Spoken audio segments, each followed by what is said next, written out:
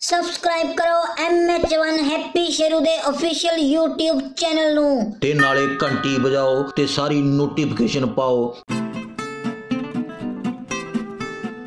ਸ਼ੇਰੂ ਯਾਰ ਕੀ ਕਰ ਰਹੇ ਆ? ਬਹਾਦਰ ਦਾਦਾ ਜੀ ਦੇ ਕਿੱਸੇ ਪੜ ਰਿਆਂ ਪਾਜੀ ਹੈ?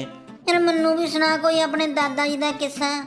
ਇੱਕ ਵਾਰ ਦੀ ਗੱਲ ਹੈ ਪਾਜੀ ਮੁਹੱਲੇ ਤੋਂ ਬਾਹਰ ਦੋ ਬਦਮਾਸ਼ ਕੁੱਤਿਆਂ ਨੇ ਬਹਾਦਰ ਦਾਦਾ ਜੀ ਨੂੰ ਘੇਰ ਲਿਆ।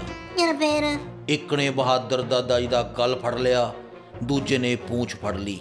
ਯਾਰ ਫੇਰ? ਇੱਕ ਦਾਦਾ ਜੀ ਦੀ ਪੂੰਛ ਫੜ ਕੇ ਉਧਰ ਲੈ ਜੇ ਦੂਜਾ ਗਲ ਤੋਂ ਘੜੀਸ ਕੇ ਇੱਧਰ ਲਿਆਵੇ। ਬਹੁਤ ਕੁੱਤਾ ਘੜੀਸ ਹੋਈ ਬਹਾਦਰ ਦਾਦਾ ਜੀ ਦੀ ਹੈ?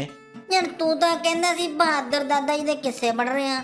ਆ ਸੁਣਾਇਆ ਤਾਂ ਹੈ ਬਹਾਦਰ ਦਾਦਾ ਜੀ ਦਾ ਕਿੱਸਾ।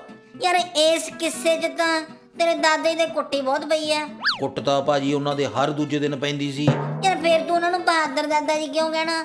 ਬਹਾਦਰ ਦਾ ਭਾਜੀ ਉਹਨਾਂ ਦਾ ਨਾਮ ਸੀ ਉਦਾਂ ਥੋੜੀ ਬਹਾਦਰ ਸੀ ਹੈ? ਸਾਲਿਆ ਕੁੱਟ ਜਣੇ ਖਣੇ ਤੋਂ ਨਾ ਬਹਾਦਰ। ਥੈਂਕਸ ਫॉर ਵਾਚਿੰਗ ਇਸ ਵੀਡੀਓ ਨੂੰ ਲਾਈਕ ਕਰੋ ਸ਼ੇਅਰ ਕਰੋ ਤੇ ਕਮੈਂਟ ਕਰਨਾ ਨਾ ਭੁੱਲਿਓ ਹੈ?